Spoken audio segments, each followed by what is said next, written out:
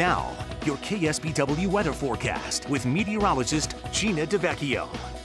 Happy Tuesday, everyone. Well, Brittany just showed the sunshine in Salinas, and it literally made me smile. So I wanted to show a little more sunshine in Monterey. You can see that marine layer out in the distance, but looks like it's going to be sunny once again. And some of you may not be too happy about that because with the sunshine is going to come the early morning warmth, upper 50s right now, so pretty mild to start, but by the next couple of hours, these temperatures are going to start to climb once again very early compared to uh, what we typically see. So we are going to be seeing that heat earlier because of a lack of a wind. Also, you can see areas like Carmel Valley just showing that little bit of an east influence and anything from east to calm winds is what allows those temperatures to warm up quickly. Now by later in the afternoon, that's going to shift from the west. So I've zoomed in here to really show you those arrows since they're so tiny because they are on the lighter side. But here you can see that starting to shift by later in the morning and pick up just a little bit. But this is when we're going to start to climb in areas uh, from Corralitos all the way down to Salinas. That's where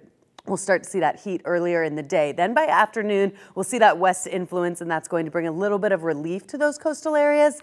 Not going to bring much relief to the Salinas Valley, though you can see arrows trying to make their way there, but it's still going to be very hot with temperatures in the 90s to triple digits. Heat advisory across the region, you can see everywhere except the immediate coastline, and that's until Thursday, even though the peak days are really going to be Tuesday and Wednesday. Excessive heat warning in the Central Valley, as well as down south in the desert parts of California, Arizona, and South Nevada. Temperatures right now, 50s near the coast, 70s inland, so mild to warm to start in the Central Valley. We're seeing some warm temperatures here, but look at that triple digit heat likely 109 in Palm Springs today, tomorrow 110, and it's still going to be uh, hot inland, but you can see that cooling trend beginning already at the coast for tomorrow. I have to mention our drought conditions because compared to last year, look at this. There is barely any drought across the state, but this year, Northern California, including parts of the Central Coast, have some areas of concern because of the lack of rainfall. Yes, we got some late season May rain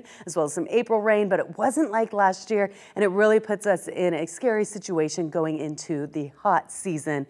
And today's going to be one of those days that it's hot. At least it's not going to be too breezy, but it's still going to be dry. Look at those temperatures in the triple digit range once again, but near the coast you can see a little bit of a cooling, upper 70s possible around the Monterey Peninsula, but still going to be hot in some coastal spots. For tonight, 50s to near 60 degrees, and you are going to notice that cooling beginning tomorrow near the coast, and then definitely going to be cooler by the end of the week into the upcoming weekend. Cloud cover coming our way, and it is going to bring those temperatures down about 20 degrees as we go into the upcoming weekend, which will feel quite nice.